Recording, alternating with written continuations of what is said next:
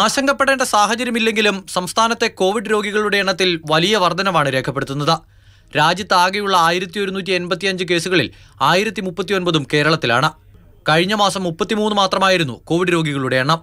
പരിശോധന കാര്യമായി നടക്കാത്തതാണ് കേസുകളുടെ എണ്ണം കൃത്യമായി മനസ്സിലാക്കുന്നതിലെ വെല്ലുവിളി.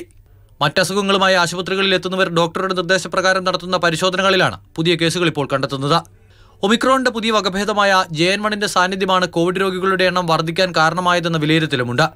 ജെ എൻ വണ്ണിന് വ്യാപനശേഷി കൂടുതലാണ്. നിലവിൽ മുപ്പത്തിയെട്ട് രാജ്യങ്ങളിൽ പുതിയ വകഭേദം കണ്ടെത്തിയിട്ടുണ്ട്. പാശ്ചാത്യ രാജ്യങ്ങളിൽ ഹോസ്പിറ്റൽസ് ഒക്കെ ഓവർലോഡഡ് ആയിട്ടാണ് ഇപ്പോൾ ഇപ്പോഴത്തെ സ്ഥിതി. പ്രത്യേകിച്ചും യൂറോപ്യൻ രാജ്യങ്ങൾ അമേരിക്ക കാനഡ ഇങ്ങനെയുള്ള പല സ്ഥലങ്ങളിലും വളരെ കൂടുതലായിട്ട് ഈ സീസണിലുണ്ട്. മൂക്കൊലിപ്പ് ചുമ ജലദോഷം ശ്വാസമുട്ട തുടങ്ങിയവയാണ് പുതിയ വകഭേദത്തിന്റെ പ്രധാന ലക്ഷണങ്ങൾ. മിക്കവാറും ലോകമെമ്പാടും ജെ എൻ വൺ ആണ് കൂടുതലും ഇപ്പോൾ കയറിക്കൊണ്ടിരിക്കുന്നത്. അത് വളരെ ഫാസ്റ്റ് ഗ്രോയിങ് ആണ് ഈ വേരിയന്റ് മുമ്പ് വാക്സിനേഷൻ എടുത്തവരിലും മുൻപ് ഇൻഫെക്ഷൻ ഇപ്പോൾ വന്നുപോയവരിൽ പോലും വളരെ എളുപ്പം വ്യാപിക്കാനുള്ള കഴിവുള്ള ഒരു വേരിയന്റ് ആണിത്.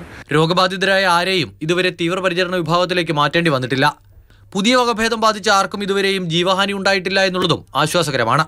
എങ്കിലും ജാഗ്രത വേണമെന്നാണ് ആരോഗ്യ വിദഗ്ധരുടെ നിർദ്ദേശം. മാതൃഭൂമി ന്യൂസ് തിരുവനന്തപുരം.